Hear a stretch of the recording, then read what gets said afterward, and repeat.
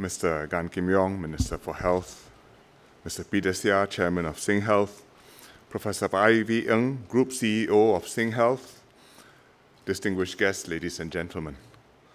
Very happy to be here at last to launch the SGH Campus Master Plan. We've waited for this a long time. SGH was the first hospital in Singapore, as you've heard from Professor Ng. Came here in 1882, but really the history goes back even longer to 1821, when it was a medical facility in a wooden shed by the Singapore River. But eventually it moved here after several shifts on a hill near the sepoy lines. Those of you who are not quite old enough or have forgotten your school history, Sepoys were Indian soldiers in the British Raj. And the Sepoy Lines was the Sepoy camp, which was located near here. So there used to be a road here called Sepoy Lines, and this was the Sepoys' camp or cantonment, hence Cantonment Road. And that's the history lesson. and that's why to this day, many older Singaporeans still call this place Sipai Po which is the Hokkien rendering of sepoy lines. This was also where Singapore's first medical school, the King Edward VII College of Medicine, was established back in 1905. Since then, the medical school has gone to NUS's Kent Ridge campus and is now the Yong Loo Lin School of Medicine. But many of the students still come here and train here. And I'm glad that after this, we will be hearing some of them from the Yong Loo Lin School of Medicine performing for us. But here we have now another medical school, the Duke NUS Medical School. So Outram campus continues to play a major role in medical education. As the oldest hospital, SGH has a special place in many Singaporeans' hearts. Often it's the first hospital which comes to mind when people think of our healthcare system. And it's the first one which people instinctively want to go to when they need treatment. Although we're trying very hard to educate people into the importance of right siting medical care and how it's best that they be treated at the place that best suits their needs, whether it's a regional hospital, whether it's a community hospital, whether it's an outpatient clinic, or possibly resting at home. But over the years, we've developed and expanded SGH. In the old days, we had open wards, we had long corridors linking up different parts of hospitals, and patients found their way around by following colored lines painted on the ground along the corridors. Some of you may remember that. So you tell a patient, follow the red line, you go to orthopedic, the blue line, you go to surgery, whatever because many of the patients were illiterate, and that was the simplest way to get them around. And hopefully, if you followed the line conscientiously, you would go to the right place. Lee Yong Kiat explained this to me once. He said the only trouble is you're looking down and following the line, and if you're not careful, you'll bump into something. Today, you look down at your iPhone as you walk along following the app, and you have the same problem. But today, the campus has far better facilities and capabilities. We have 40 clinical specialties. We have national centers for cancer, dental, eye, heart, neuroscience. It's a major provider of care, receiving patients from all over Singapore. The layout of the campus today basically reflects a major redevelopment started in the 70s and completed in 1981. I remember when Mr. Lee Kuan Yew opened it, we were all very impressed by the new facilities and buildings. It was a quantum change from what the old hospital used to be. And we've continued since then to improve and upgrade it, building some new buildings, repurposing others. But we have not done a comprehensive replanning and renewal of the campus though we've been thinking about it for some time. Therefore, it's timely for us now to launch this master plan and refresh the campus. 1981 is now 35 years ago.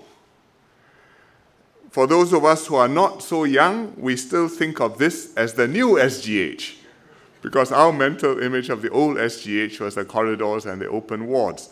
But 35 years is a very long time in medicine. Medicine has advanced enormously. The practice of healthcare has changed. Our society is more developed, and our population is much older. So we are launching this master plan now.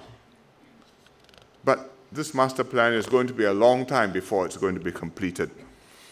I was going to say that it'll take 15 years, 2030 by the time it's done, but Ivy has just said 20 years. So it's going to be two decades of hard work. And it's a very difficult job because we have to do a musical chairs exercise. This is a very busy hospital which has to be kept running.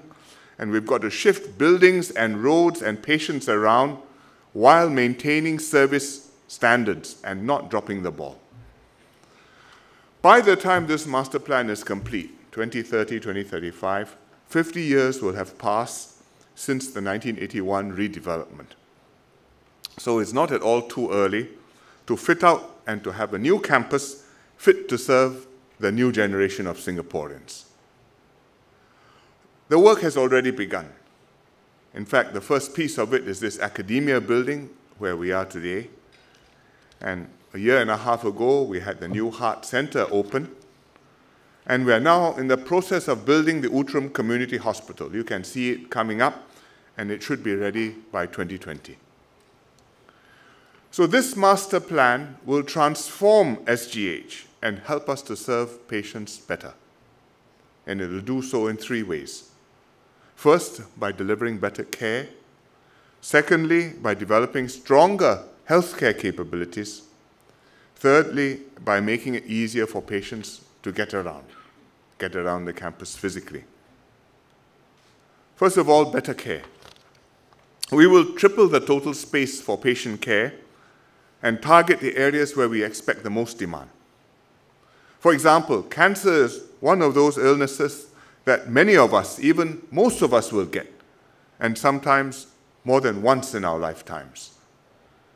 With better cancer care, patients live longer.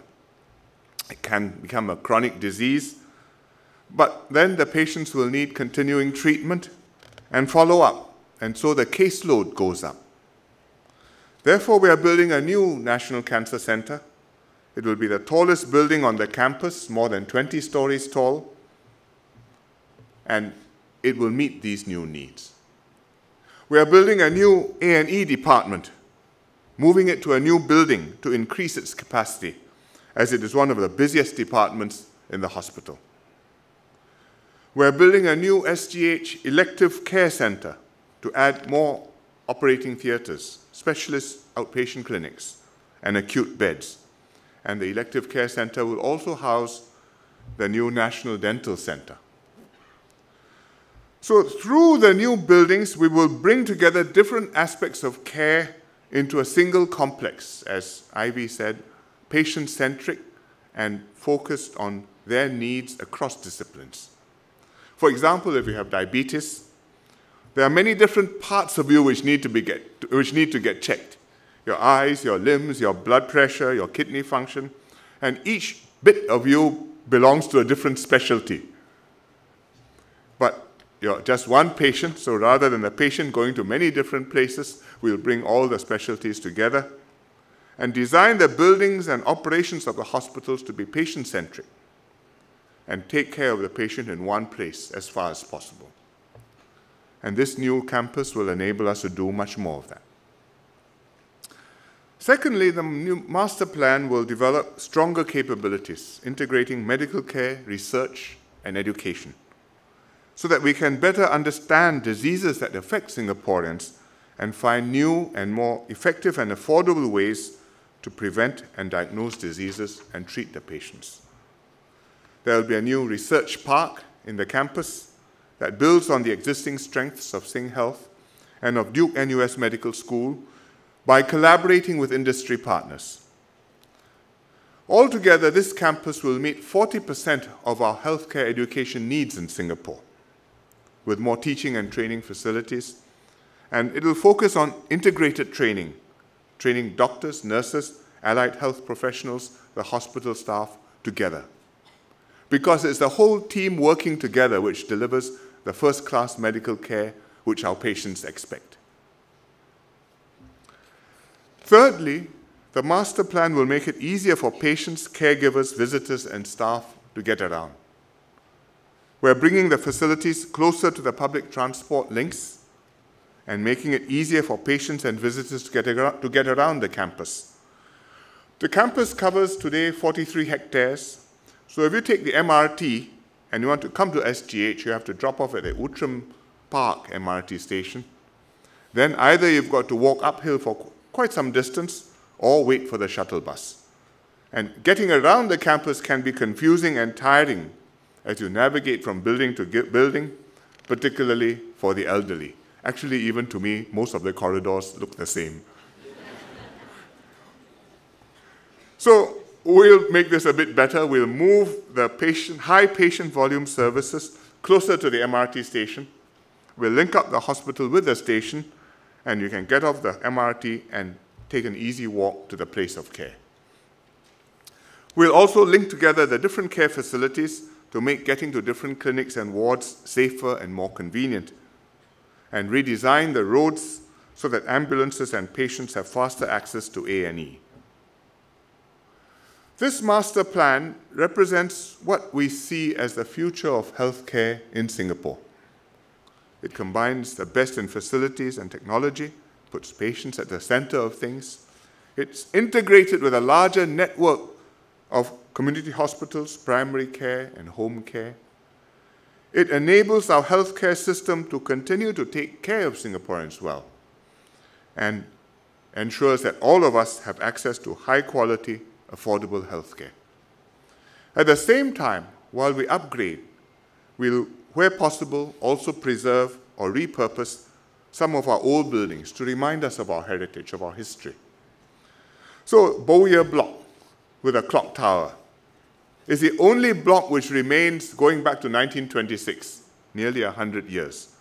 Now it houses the SGH Museum as well as outpatient services and reminds us how we've built and upgraded SGH over the years to serve Singaporeans and commemorates those who have given their lives and careers to public health care, like Dr. John Bowyer in particular.